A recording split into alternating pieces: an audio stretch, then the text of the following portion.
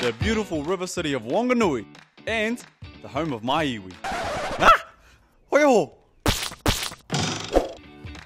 Anyways, today is not about me or Scary Hoiho. Today is about this cousin. Ko Ash pa tōku ingoa. He's been river guiding since he was a teen. He's the CEO of Whanganui River Tours and takes people from all over the world on cultural experiences down the Whanganui River. So tell me about this place. Where are we? Um, we're at One River.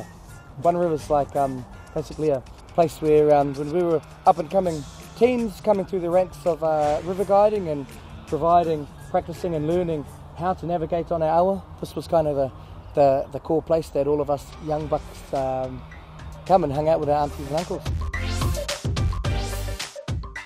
Toyota is one of the bros who's um, kind of been a part of this right from the beginning. I think the best thing about Shaw is he's really good at being himself.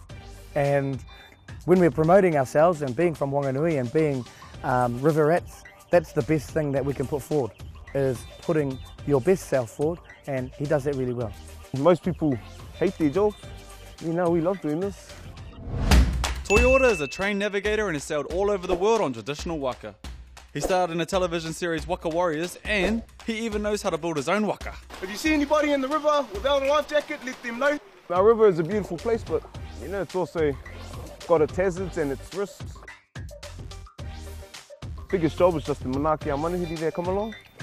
You know, we just want our, our whānau or our manuhiri to enjoy their trip as much as possible without getting hurt. Through safety briefings and that kind of stuff, you know, we're able to educate them on, on ways of doing it. So I got an off season in basketball. If I wanted to work with you, what do I need to have? Having the right attitude is really, really important. You have to be passionate.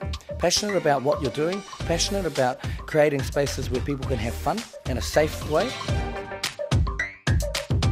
When you're out in the middle of nowhere, anything can happen. Being able to think and use your own initiative in the moment is a key part. And we need to ensure that people that are responsible for other people and their lives, they really need to know um, how to communicate quickly, think sharp, and make informed decisions off their feet. half of us live and breathe the river um, throughout our whole lives, not just the summer season. So yeah, it's just a big part of us. And being able to come on it, you know, doing trips like this, that's pretty cool.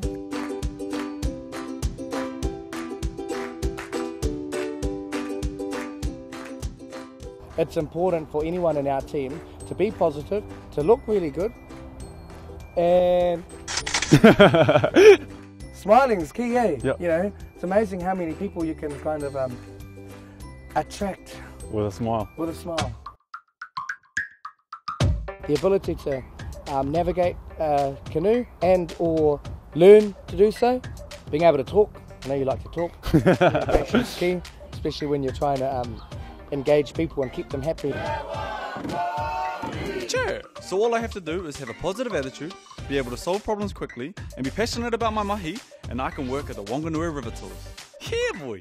You can actually live your life and just be you. Like, be Māori, be from the river, and get paid for it.